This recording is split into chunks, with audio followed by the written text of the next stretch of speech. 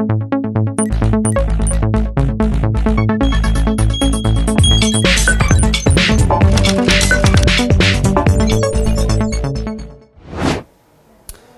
بكم مجددا اعزائنا المشاهدين في تقرير جديد من ايكويتي جلوبال ماركتس معكم رائد الخضر. نتحدث في تقرير اليوم عن مجموعة من البيانات ذات التأثير التي تسيطر على تعاملات هذا الأسبوع. ولكن دعونا سريعا نختصر أهم الأحداث التي حدثت في نهاية الأسبوع الماضي حيث كان أهم وأبرز الأحداث اجتماع المركز الأوروبي وخطاب ماريو دراغي الذي يعني سواء كان بإعلانات أسعار الفائده الإبقاء على أسعار الفائده كما هي ولكن البدء بتقليص برنامج التيسير النقدي إلى مستويات 30 مليار يورو شهريا بدلا من 60 مليار يورو شهريا ابتداء من بداية عام 2018 وذلك إلى حد ما كان مخيب للآمال بعض الشيء لأنه أبقى open end يعني ابقى النهاية مفتوحة لهذا البرنامج. وشدد على ضرورة الإبقاء على السياسة التيسيرية لفترة أطول وبالتالي كانت التوقعات يعني بالسياسة التشددية أكبر من ذلك. لذلك رأينا اليورو يتعرض للضغط بالاتجاه الهابط ويهبط وصولا إلى مستويات 1.1570 ويعود اليوم إلى مستويات 16.30 تقريبا. هذا لعله أبرز الأحداث المؤثرة على الأسواق. الدولار الأمريكي لا يزال متماسك فوق مستويات 94 أو قريب من مستويات 94 كمؤشر للدولار الأمريكي. لا نزال ننتظر قرار نهائي بما يتعلق من هو رئيس الفدرال الأمريكي القادم ولكن الترشيحات بشكل كبير تتجه نحو باول أن يكون هو الرئيس القادم. ولكن يتصف باول بأنه أقل تشددية فيما يتعلق برفع أسعار الفائدة ويفضل التدريج بشكل أبطأ في عملية رفع أسعار الفائدة في الفترة القادمة ولذلك ذلك قد يضغط على أداء الدولار الأمريكي خصوصا أن ترامب يحبذ أن يكون هناك إبطاء في عملية تشديد السياسة النقدية لإعطاء الزخم بشكل أكبر للأسواق وللاقتصاد الأمريكي بالاستفادة من سياسة إلى حد ما متساهلة أو تيسيرية. طبعا ما ننتظره خلال هذا الأسبوع. ابتدأ من اليوم بقرار البنك المركزي الياباني. الإبقاء على السياسة النقدية كما هي دون أي تغيير. أسعار الفائدة أيضا تم الإبقاء عليها دون أي تغيير بالمنطقة السالبة. بينما يعني لا تزال الوعود بتحفيز أكبر في السياسة التيسيرية. وبالتالي يعني هذا ما كان يهدف إليه شينزو آبي من خلال الترشح مرة أخرى. والنجاح الساحق في الانتخابات أن يكون هناك حزم تيسيرية جديدة. الين الياباني تحت الضغط بالاتجاه المنخفض والدولار ين ياباني يرتفع بشكل واضح ويعني يعطينا اتجاه عام صاعد اجمالا. ننتظر أيضا ال FOMC خلال تعاملات هذا الأسبوع. مهم جدا متابعتها. وكذلك ننتظر قرار البنك المركزي البريطاني الذي من المتوقع بشكل كبير أن يتجه إلى رفع أسعار الفائدة للمرة الأولى في عقد من الزمن. بالتالي مهم جدا متابعة هذه الأحداث التي ممكن أن تغير الأسواق بشكل كبير.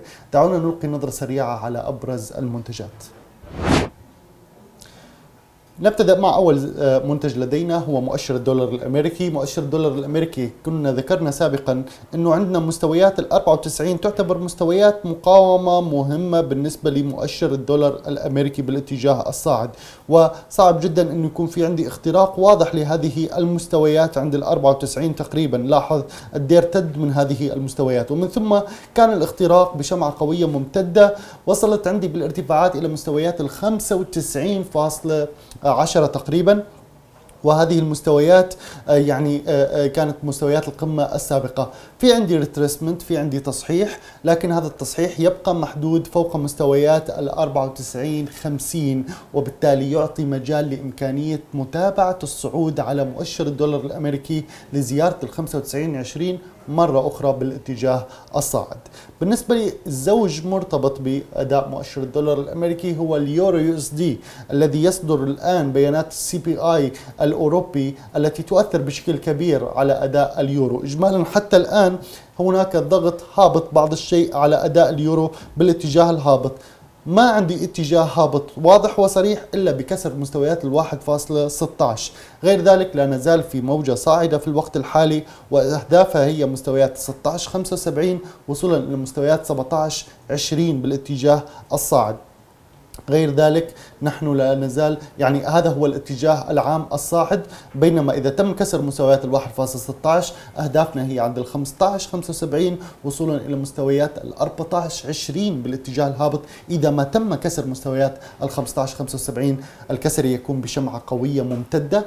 تغلق تماما دون مستويات ال 15 70 على time frame ال 1 hour حتى يكون في عندي direction واضح بالاتجاه الهابط على زوج اليورو دولار الامريكي الذي استفاد بشكل كبير من ضعف اليورو خلال الأسبوع الماضي ليضغط عندي وليشكل هذا الموج الهابطة. في حين أنه على ال daily time frame هناك رأس وكتفين مرسوم واضح على الزوج يورو دولار أمريكي لا يزال يستهدف هبوط نحو مستويات 13 20 إذا ما تم إكمال النموذج بالكامل. آه، آه، على ال time frame المتوسط إلى القصير في عندي موجة صعود يعني اختبار ال neckline الذي تم كسره بالنسبة لخط العنق آه، يعني بالنسبة لنموذج رأس الكتفين المرسوم على اليورو دولار الامريكي لدينا منتج آخر نريد أن نسلط عليه الضوء هو الذهب.